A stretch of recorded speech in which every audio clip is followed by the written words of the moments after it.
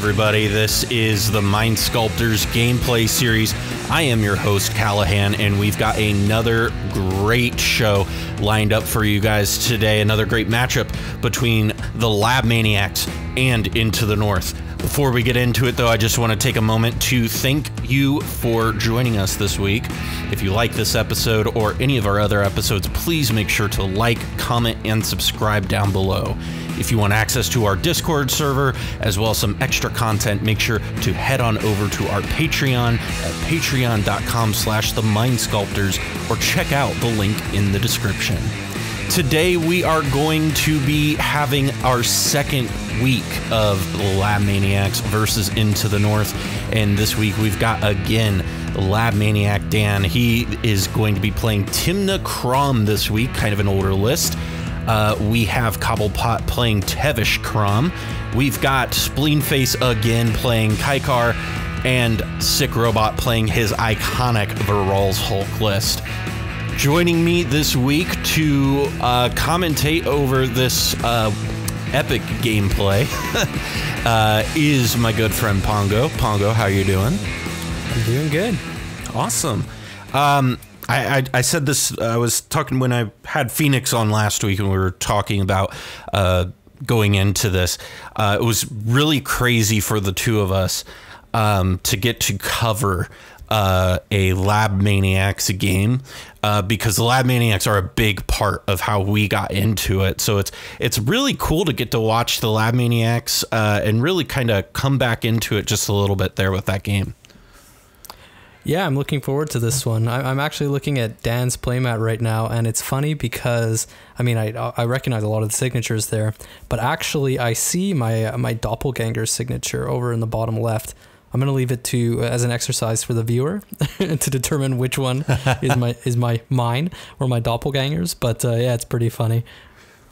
Yeah. Um, so speaking of Dan, he, like we said in the opener, there is playing Tymna Kraum, and it's not what you would think of as kind of modern day Tymna Kraum, right? Uh, Pongo, what is this list doing?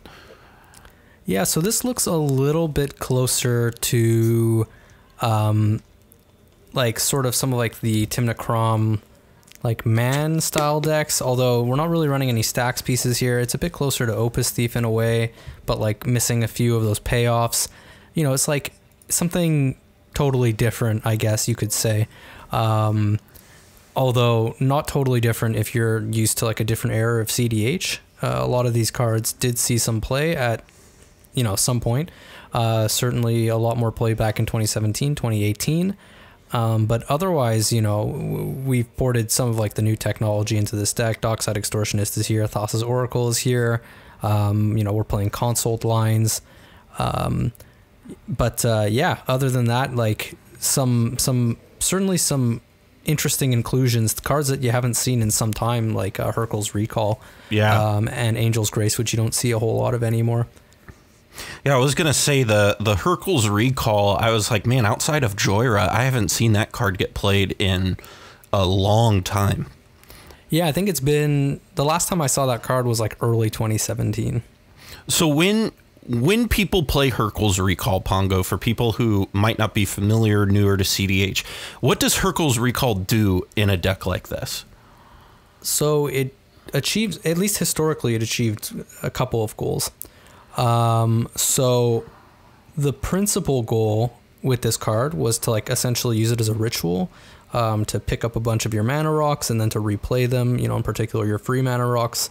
Uh, you know, when you're going off on a um, ad nauseam line. Um, but in addition, you, it also kind of serves as a way to remove artifact stacks pieces. Um, so what was really big, sort of back in the day, and you see it less these days. Although you know it's not totally totally uh, defunct or anything like that. It's just less common. Is that people used to play a lot more like Thorn of Amethyst, uh, Sphere of Resistance, Winter Orb, stuff like that. And it's a lot more common if you play with me.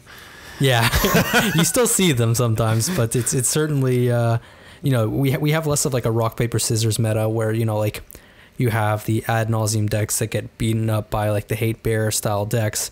You know, right. like back in the day we had like Jeleva and Zur, and like they would frequently go up against Boonweaver Karador and Boonweaver Karador. Um, you know, it, while it wasn't playing like all of those aforementioned tax effects, um, you know, instead playing like Thalia, um, it you know it might occasionally also play a Winter Orb or something like that. But you know, you also saw other decks like Derevi, and you also saw other decks like Yisan more often, and they were playing things like Trinisphere Right. and, and and all the Thorn effects and stuff like that. So it was really nice to have you know that sort of dual ritual slash uh, interaction piece. Yeah, absolutely. Um, also, kind of playing a blast from the past, uh, Commander, is Sick Robot from Into the North. He's playing Varolz Hulk, and uh, it's it's obviously on some new technology. But this deck, uh, this is some OG original Protean Hulk technology. So, for some people who might not be familiar with this deck, um, what is this deck doing? I mean, it's it's playing some stuff that we might be familiar with, right? Uh, but what is it really doing at the end of the day? It's funny because I've known Sick Sick Robot for for a long time, um, and you know he was very well known for this deck way back in the day. Um, also well known for you know other flavors of Hulk, um, you know especially like Flash Hulk style decks in particular. Um, and I remember, you know, like essentially just like throwing out random um, Protean Hulk technology at like various points, and like Sick would be like, "Whoa, yeah, like that that works. Like let's do that." Um, Like know, Shuffle I- Hulk, remember that? well, that one wasn't. Yeah, that one was somebody else. Uh, I Yeah. can't take credit for that one. But um, you know, some of like the persist style stuff. Mm-hmm. Um, uh, I'm trying to remember the name of the card, but essentially, it's like a. It was a shadow. I think it was a Shadowmoor card. It was like. oh, you're talking about the you're talking about the the um, what's it? it's a it's a uh, scarecrow that scarecrow card with wither, right? Uh, not quite. Um, so no, no, this was actually a card that had persist.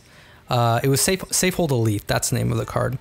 Um, Oh, and okay. essentially, it was just a two mana card with persist. And like, you know, back then, um, we had essentially figured out that you could come out with a pile, come up with a, a persist pile using Safehold Elite.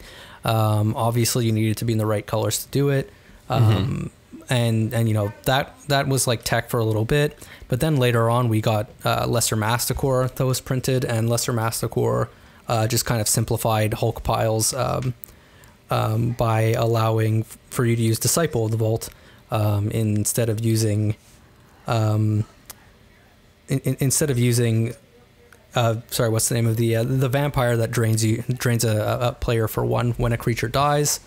Um, so Oh, yeah, I know what you're talking about. Are you talking about Blood Artist? Yes, blood artist, Okay. exactly.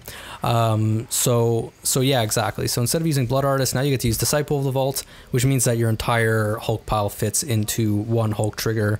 Whereas before, uh, you know, you, you would often have to multi Hulk, which would make you more vulnerable to like you know graveyard interaction or something like that at instant Right. speed or removal, something you know. Um, a few other sort of surfaces for attack, whereas you know with everything being sort of compacted into one pile, where you could also you know often you know, if, if you're playing, if you don't have to play around like Graveyard Hate, for example, you could include protection into your pile as well. Um, that that really kind of streamlined the deck in a lot of respects and made it a lot more resilient. So it was not a revolutionary change for the deck; it was kind of an evolutionary change for the deck, but one that just kind of made it that much more resilient to various types of interaction. And if I'm not mistaken, actually, so I, I do actually believe you can fit in protection into the standard pile. Um, so so yeah, exactly. The, the pile became that much more resilient just because uh, you weren't multi hulking and you had uh, Right. protection. Sort Well, if you. I believe if you have Viscera Seer out, your pile can just be Masticore, Malira, Disciple of the Vault, and then Sylvan Safekeeper. Yeah, exactly. And and because we're talking about Varolz, like in a lot of situations, you are just going to have the sack outlet in play. Right. So so that's how you essentially just get the the uh, all, all, the entire pile in one activation or one trigger of the Hulk, and you just go from there with protection. Right. Now there is uh, a particular what I could imagine is going is could be a Hulk pile. I don't know that it will ever be, uh, but is Maralen of the Mornsong an opposition agent? Um, and so this is kind of newer technology that has come out because of Commander Legends. Uh, but you know, why play this over some other things? Um, so obviously this kind of gives you like a backup pile that you can uh, pile into. Um, you know, suppose you have a couple pieces in hand, and so that's making it hard for you to pull off your Hulk pile uh, in a timely fashion, or perhaps something got exiled, um, and you really needed that piece, which which can happen pretty often. There, there's mm-hmm. you know more exile removal in the format than there has been in the past. Um, essentially, yeah, having this backup pile is pretty powerful because one opposition agent is just a very very powerful, insane card on its own. Uh, so you're happy to play that, and then obviously Maralen of the Mornsong just as kind of like a one-off inclusion. Um, you know, it, it it's not the type of thing that you're gonna play just kind of out there because right. it does have some backfire potential. But you know, if you have the combo already, then then it becomes very strong. You you just have kind of a soft lock on the game. Uh, mm-hmm. If nobody has any removal in hand or any way to like kill you in a sort of hasty fashion, then you know that you can kind of upgrade that into a fuller lock. Um, right. So yeah, it, it kind of puts the uh, it puts a lot of pressure on your opponents to be able to answer it with what they have in hand. Right. Now, uh, one thing that I did notice about this deck is it is playing Life Death. However, there is not a Razaketh in this list. So, what is Life Death doing in here that kind of sets it uh, is doing? Because it's not doing the Razaketh thing, right? Right, but um, so this deck I think just wants to play kind of like a, uh, as much reanimation as it possibly can, mm-hmm. um, because you know you have the sack outlet in your command zone. Um, you know you're kind of just trying to cheat Protean Hulk into play, like by any means possible. Mm-hmm. Um, so sometimes that's going to involve like Entomb Reanimate or like you know some kind of discard spell like a a um, like a Cabal Therapy on yourself or something like that. You know, or a, a final parting to put something into your graveyard. Essentially, yeah, like you're you're either cheating the Hulk into play off of like a pattern of rebirth or a um, um, sorry a natural order mm-hmm. or essentially you're reanimating it. So I think it's it's largely to do with that. You know, you just want to play all those reanimation effects. Okay, that makes sense. Man, this is Who just wants such to pay seven. Right. no one wants to pay seven for Hulk. This is just wild to look at this list. This is just stuff that I have not seen in a long time, and I'm so excited to see this get played. Uh, playing some newer stuff is Cobblepott. He is playing Tevesh Kraum, and this is about as standard as uh, current decks get, right? Yeah, I'm, I'm looking over the deck list as we speak, and for this one, um, you know, if you've seen a Turbo Nas deck before, uh, you know, there's there's nothing particularly strange about this one.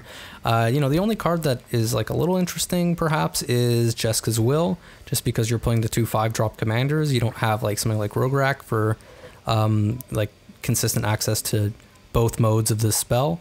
Mm-hmm. But like at minimum, this card is still going to be a seething song. Sometimes just like not at minimum. Obviously, it, it can be worse than that, but like more often than not, it's as good or better.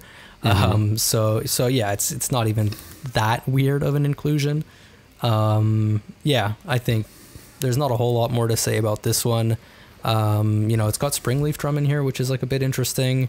You know, porting a little bit of that tech from uh, like Rograkh style decks. Mm-hmm. Um, Scroll Rack as well, which you know is kind of like an ad extender, so that one's kind of justifiable.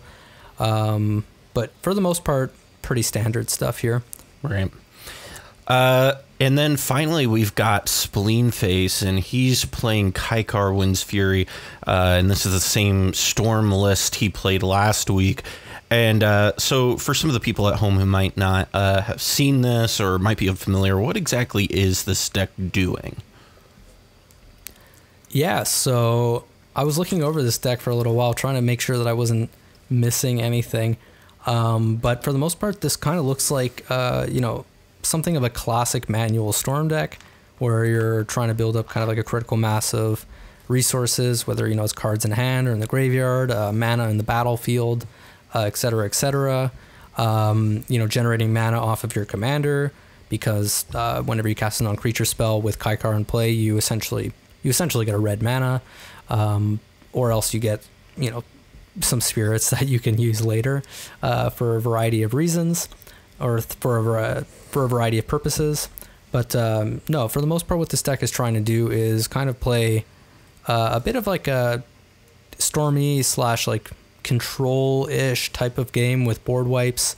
Um, and yeah, and eventually is going to try to segue into kind of like an underworld breach line. Um, we're also using Isochron Scepter here to make infinite mana off of dramatic reversal, Mhm. which can also mean infinite one ones. Um, so yeah, pretty pretty standard stuff here, but without necessarily having um, like any of the um, let's say black tutors and stuff like that to to Right. make the, the the combo plan a little bit more consistent. Makes sense. Uh, well, as we go in here to look at the starting hands, our turn order is going to be Sick Robot going first, Labman Dan going second, Cobblepott in third, and Spleenface is going last. Looking at opening hands, Spleenface did keep his first seven. His first seven was an island, a snow covered island, Chromox, Arcane Signet, Baral Chief of Compliance, Frantic Search, and Wooded Foothills. So you're going fourth at the table. You keep your first seven. What do you think of this, Pongo? Um, so this is fine. Um, it's it's not incredibly exciting, but I suppose like when you're dealing with uh, a deck like Kykar, you know, where you don't necessarily have some of like those, you know, really really big explosive plays like ad nauseam or something like that. You know, just being able to um, accelerate out into like a turn two Kykar and then potentially like cast a frantic search to improve the quality of your hand is like you know is, is going to be pretty good. So Mhm. I would expect to see some you know essentially an opening like that, uh, just a fast Kykar and to hopefully find something a little bit better to do. Right. Yeah, it doesn't look like a lot on its face, but you know, with a Baral and some other stuff, it might turn into something. Going uh, third, like we said, is Cobblepott. He had to mulligan down to six. His six was Misty Rainforest, Underground Sea, Mana Crypt, Lion's Eye Diamond, Mental Misstep, and Miscast. So you're going third. You're playing Tevesh Kraum. You keep you mulligan down to six. How do you feel about the six there, Pongo? I think at six this is acceptable for this style of deck. Um, you know, a lot of the time you're gonna keep kind of weird looking hands, but essentially what the hand is gonna do is it's gonna accelerate out into just a fast Kraum. And I wouldn't actually be totally surprised to see, uh, you know, Cobblepott essentially ditching his entire hand in Right. hopes of like getting some new cards.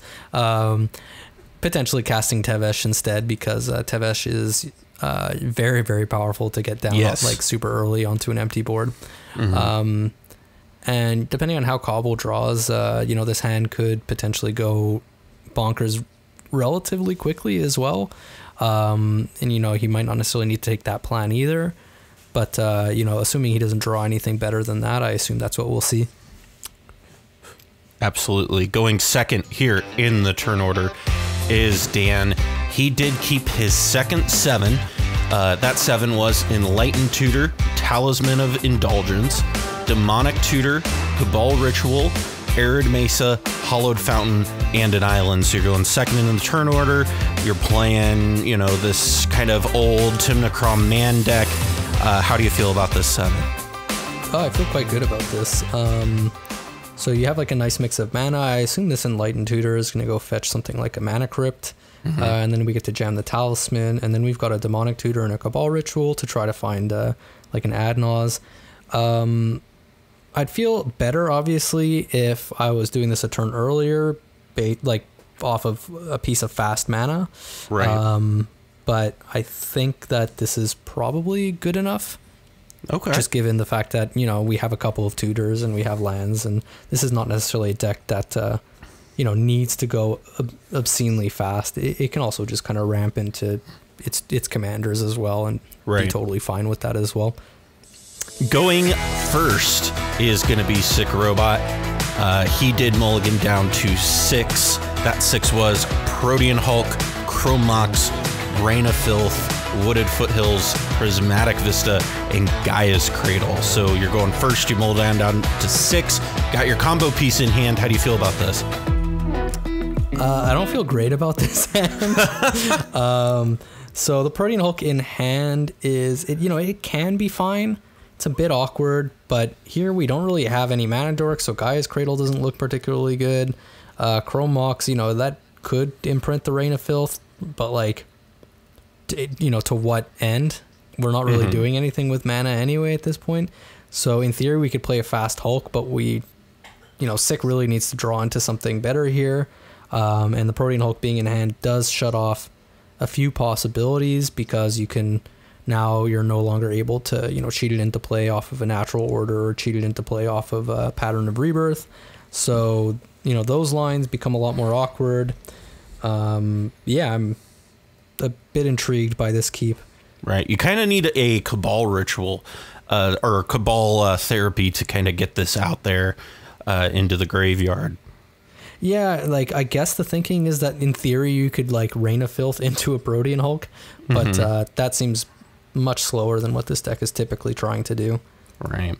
Well, we will see how this all goes down for them. We're going to take a quick timeout and we'll be right back on the other side. This is the Mind Sculptors gameplay series.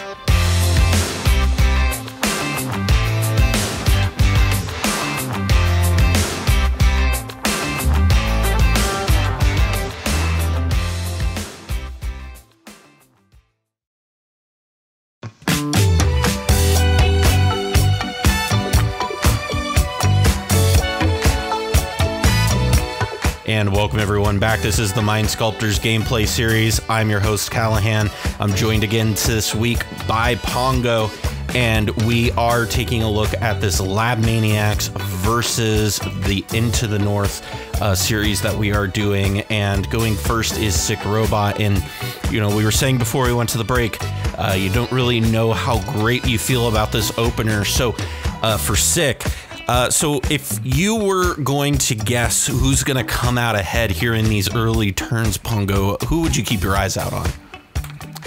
Um, so I'm definitely looking at both Dan and Cobble. Um, they feel like they have sort of the more explosive openers and like the cleaner lines, whereas uh, you know both Sick and Spleen, you know, in in their positions it feels like they need to get a little bit lucky. But of course, you know that can happen, right? Like I think Sick does have some theoretically really powerful draws that he could get that allows him to just like jam out that Hulk really quickly. Um, and Morgan is going to have Kykar down pretty quickly and then, uh, you know, be able to improve the quality of his hand as well. Right. So, you know, my main concern is that neither of them really has the tools to, to fight um, the two other players at the table. Um, and in addition, you know, the two other players at the table don't really have the tools to stop each other because Right. I expect Cobblepott is probably ditching his hand. Uh, we'll, we'll have to see what happens. But um, yeah, I, I, I expect this one to go pretty quickly one way or the other. But I'm not a hundred percent sure if it's going to be Dan or Cobble who wins, just because, you know, there's there's still a lot of stuff that there's still a lot of unknowns, a few draws that need to happen between Right. now and, and the end of the game. Well, it'll be interesting to see what happens. Let's go ahead and jump in. There are no pregame effects, as we know. So Sick is going to draw for turn here. So, what do you think uh, would be your lead here, Pongo? possibly just a land pass. Uh, we'll see if maybe he drew something he can imprint. Okay, Okay. Chromox. Life All death. right, so there you he drew a life death, and yeah, this seems fine. You definitely like would want to play the Chromox there just to potentially play around like a Mystic Remora or something. Right. But but if you know your plan is to rain a filth out a Hulk, then it's certainly possible that you don't want to imprint that. Right. Let's see here. Arid Mesa is land for turn from Dan, and he passes. And we hear so Spleen holding up the Face. Spleen Face over there is uh, laughing uh, in the game chat, saying this really is a 2019 throwback. Yeah. So So let's see what Cobblepott does here. All right, playing Underground Sea. And he's also playing a Mana Crypt. Yeah, as expected. We'll see if we get the. Uh, huh? Oh, okay. Mystic so- Remora. Yeah, we drew a Mystic Remora, which uh, feels a little bit better than just dumping the hand there. um, Right. I assume Dan enlightened tutors in response. Uh, not entirely sure. It sounds like they're kind of mulling it over. Nope, they let it resolve. LED comes down. Do you ship the hand here, co- or he's doing it? So this is We're gonna coming a Tevesh out. yeah. Okay, this makes sense too. We're just jamming out the Tevesh. We just have it all. Jeez. Well, let's see how this goes. He discarded Mental Misstep, a Misty Rainforest, and a Miscast. Uh, so he's going to Yeah, start so- drawing cards next turn and probably this turn too as people try to develop their boards. The other option was to just sit on that fish and not commit Tevesh to the board, but considering there's no pressure for Tevesh right now, you're getting blockers down, um, and you're just holding a bunch of interaction in hand, and you're like a very proactive deck. I, I just like jamming Tevesh here and, and accruing value right out of the gate. Yeah. And the, and the Mystic Remora just makes it even more absurd. Right. Well, you know, especially you're playing a handful of like you're playing at least two slower decks.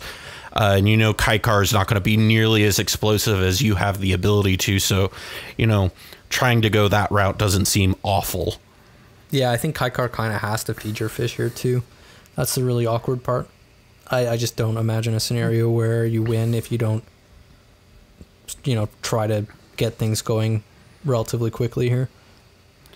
Yeah, Spleen is going to cast that Chromax. Chromox. Wow. Heard my Cleveland accent come out there from um Chromox from Spleen Face. We'll see what he imprints. And he's going to cast an Arcane Signet. And Cobblepott's already drawn two cards off of this te- off of this Mystic Remora. So it seems like it's paying off. So do we know what Morgan imprinted? He it's a good question. I do don't know what he imprinted. Uh oh. That might be a GRV. Um in Spleen's defense, he is coming off of uh, this. This record was recorded the day that he was coming off of uh, playing the tier one tournament that morning, and had was running on maybe an hour or two of sleep. Yeah, Chromox is a lot better when it's literally just a you know Mox Sapphire. We will see if they notice it. I'm not entirely sure if they do or not. Uh, that might be an asterisk next to this, but we will see. Ah, Uh, oh, he, go. he The discard brawl. exiles the brawl. That's that's as I expected. There you go. So, uh, Spleen, or excuse me, Sick did get an overgrown tomb off of that wooded foothills, and he is going to go to his second turn here. You know, if I'm in Spleen's position there, I might pretend to be like deliberating, being like, I know it's one of these two blue cards, but like, Right. I don't know which of these two. And then you just say, like, oh, you know, I think I actually need to hold up interaction here. So it's going to be this Baral. And then you're just bluffing that you have one mana interaction. Right. I don't know that he did that because we can't hear exactly what he said right now. But, Right. uh, you know, theoretically, that's something he could have done. So here we've got Sick playing uh, and yeah, this is kind of as expected.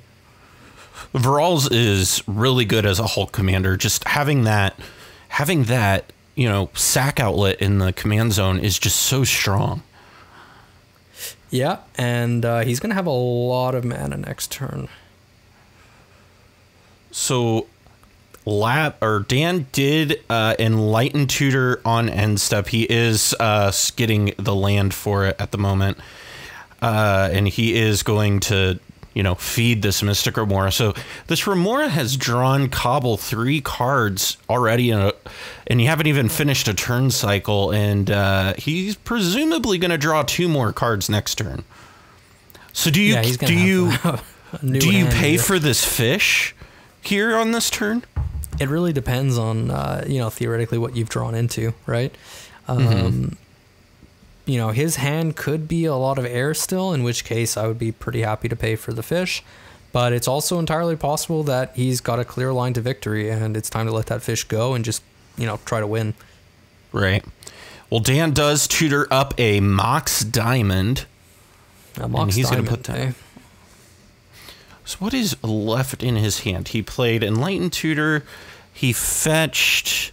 Uh, so Dan's got left in his hand a Talisman of Indulgence, Demonic Tutor, Cabal Ritual, uh, Hallowed Fountain, and an Island left. Yeah, so he's valuing the colored mana here off the Mox Diamond rather than going for something like a uh, a mana crypt. You know, he, he has enough lands in hand where it, that's fine. He can definitely just drop a land. Right. But I don't know. I mean, I sort So- of feel like I would have preferred to have the mana crypt there.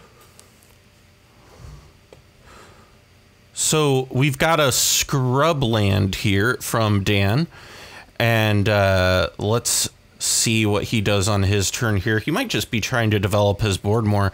Uh, so it's very interesting to see the board dynamic. You've got, you know, a hand, two players here who really don't have an option to not feed the fish, right? Right.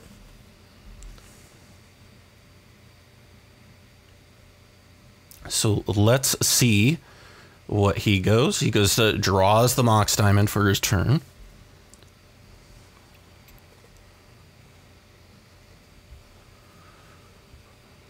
So let's see what he does. He plays an island for turn. That beautiful original Zendikar full art island. And let's see what he does.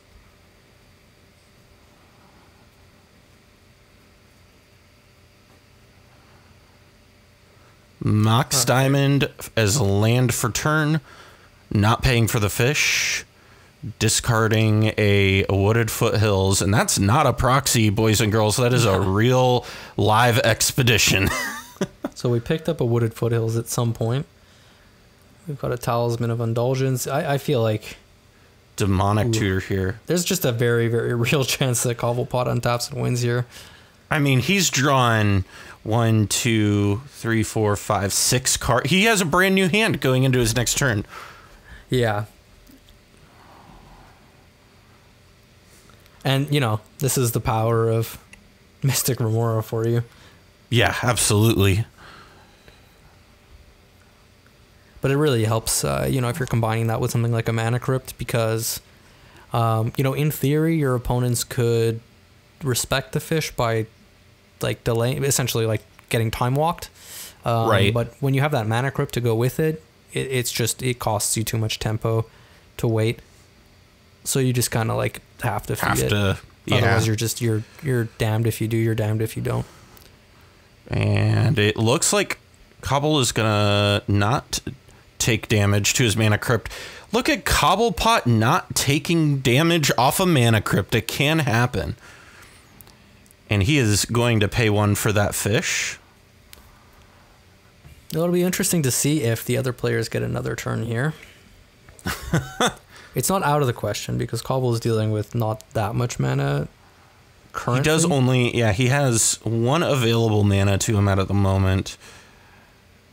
And he's going to plus one, draw two more cards off of the Tevesh.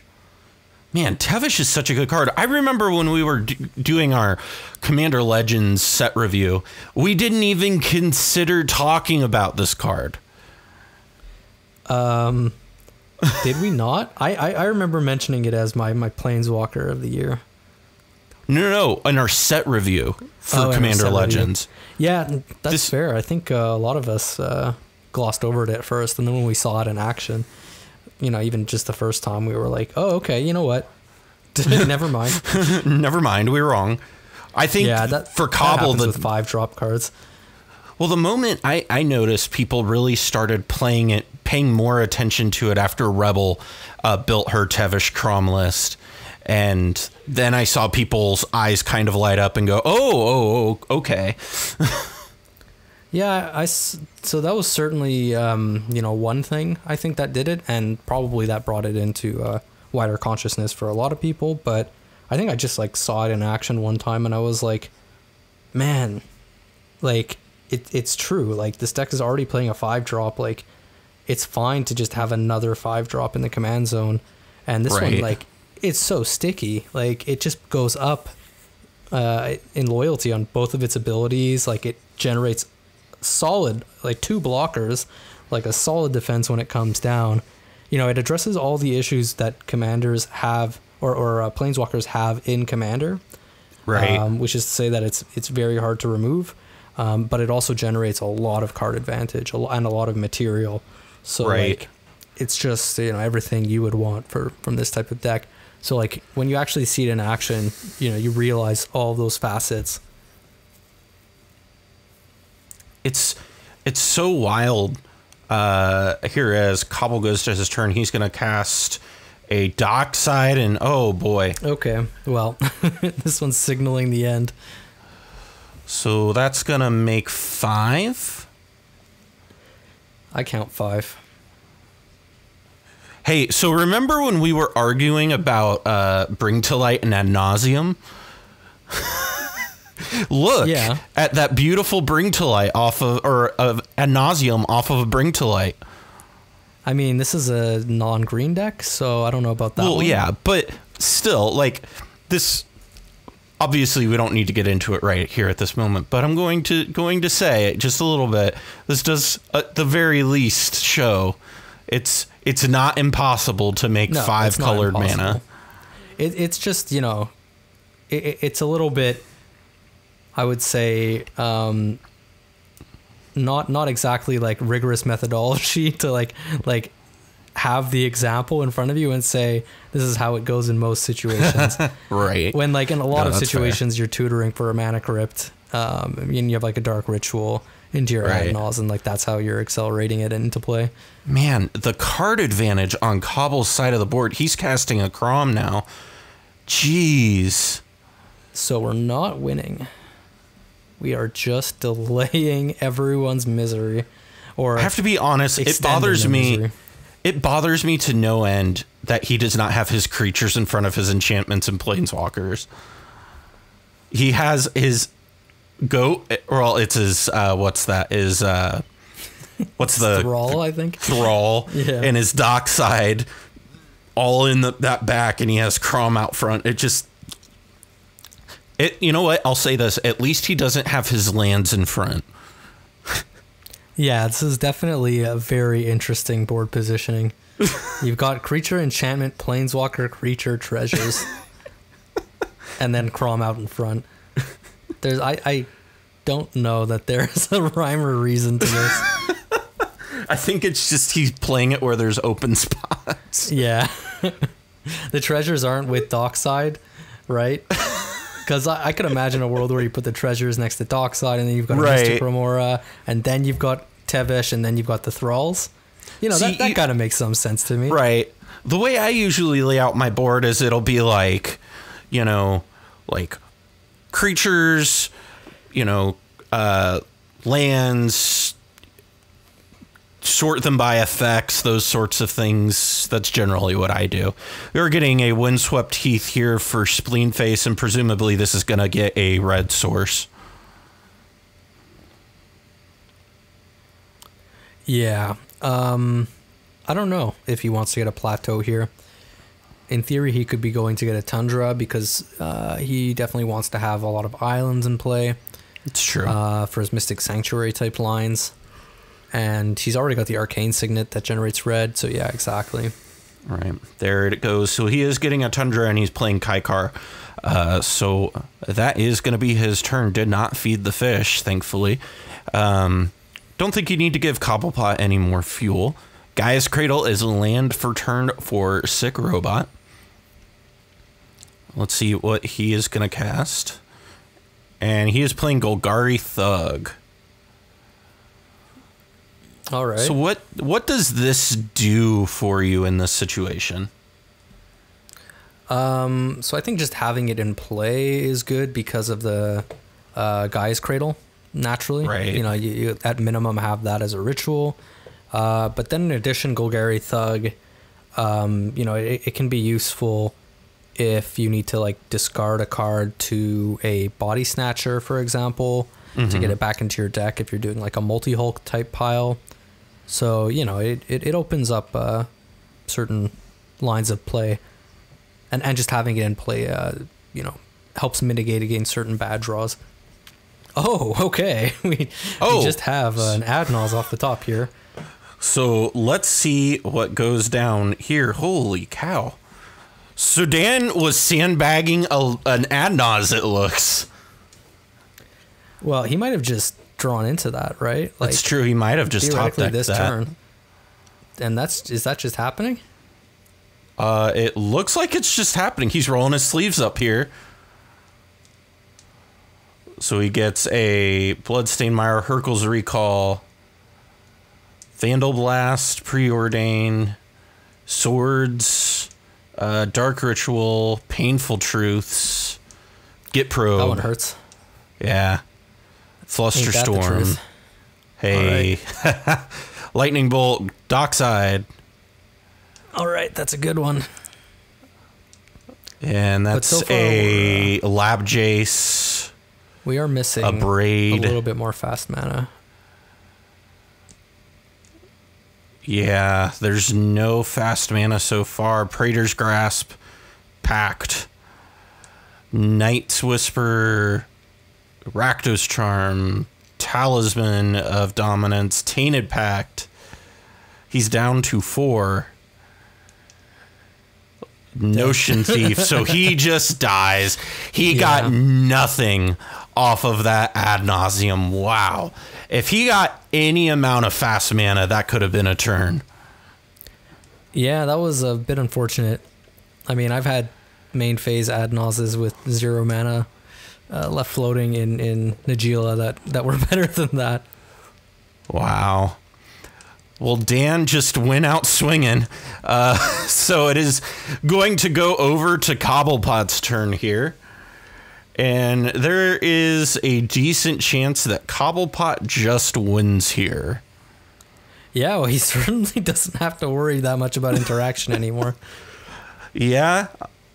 It's very So- possible that Cobblepott, you know, just made the heads up play of, of like letting that go through, knowing that, you know, assuming he knew Dan's deck very well, knowing that Mhm. it probably what didn't have the best main phase Adnals in the world. Oh, so we are playing risky, this Mystic but- Remora. So we're keeping the Remora around. And he is going to sack a Thrall, draw two cards. Let's see what he gets. He's got access to four, five, six, seven mana.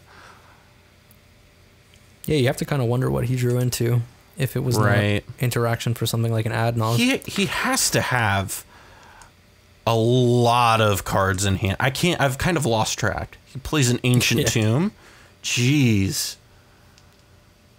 What are we getting here? Maybe a talisman. Grim Monolith. monolith? Okay. All right. So we're just making mana out here. I see. You know, as somebody who went land uh, LED mana crypt and just shipped his hand, this he he's got a lot of mana. yeah. Well, I did, it certainly helps to draw a whole new hand after that happens. Yeah, no kidding. The Mystic Remora off the top really just uh, like made that entire line I Right. would say that much better and like that much safer. I feel like Cobble's chances like wouldn't actually be that spectacular if it was just like jam Tevesh and have nothing. Right. But but you know, jam Tevesh also have like a new six card hand. Wish good. Claw Talisman, he's got one floating, and he should be able to just go get an Adnons and win. Yeah, he's got the ad he's got enough mana for Adnals here, there's no doubt about that. He's giving Reed the Wishclaw Talisman. Which makes sense. Yeah.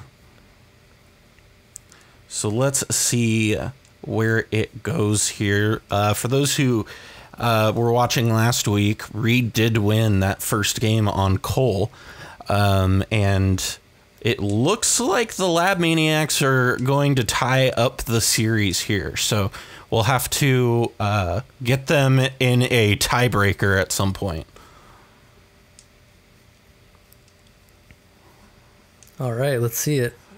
Peer into Let's the abyss. see what we get. Oh, Peer into the Abyss would be hot. At 38 life, I just would prefer to add Nas here Yeah. most of the time. Oh, it looks like we might be He's good. doing Peer. You know, Cobble does love Peer. So instead of Adnaz, we're getting Peer into the Abyss. So let's see how this goes. He's kind of counting how many cards he's got out right now so that he can do Yeah, the, the, main math. advantage to Nas here is not having to do this math and, and getting there anyway. Right.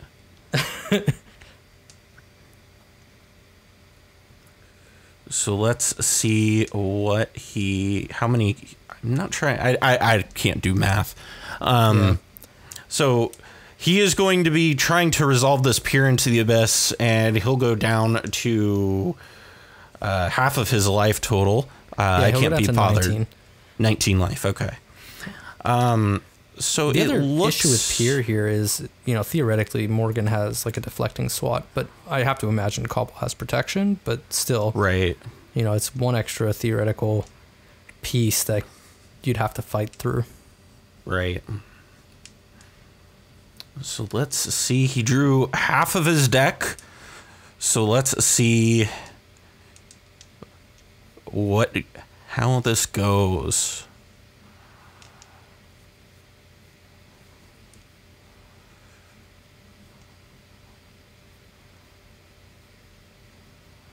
Just kind of waiting for him to assess um, all the cards in his hand.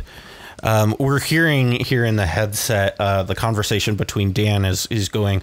Peer into the Abyss seems like a really good magic card, and Spleen uh, is disagreeing with him. So, so, what is you know Morgan's issue with Peer into the Abyss? You'd have to take that up with him. I I mean, my understanding is that he doesn't like it because it's seven mana. I don't know. You know, this is a deck that is like almost I want to say like 60% mana, so I don't know, 7 Mhm. mana is uh, an amount that you hit pretty often. Right. So let's see. What is he casting here? Thassa's Oracle, and I'm assuming Demonic Consultation. There it is. And it looks like nobody has interaction, and that is the game, ladies and gentlemen. Uh, so Cobblepott ties the series up one to one. Unfortunately, they didn't play a third game, so we'll have to get that rematch uh, lined up there, Pongo. But so you know, looking at this game, you know, what were what do you think the turning point is, and what could have the table done to maybe you know not have this happen? Um, man, it's it's tough because as soon as that Mystic Remora comes down, and there's also a Tevesh Szat and a Mana Crypt, like you're kind of forced into this position of needing to feed the fish, um, because you're gonna just fall behind anyway, right? Like it's not like everyone's getting time walk. Those are the the situations where you can like afford to pass on it. Um, you know, Dan had a fine hand, but not necessarily a hand that was like quite fast enough.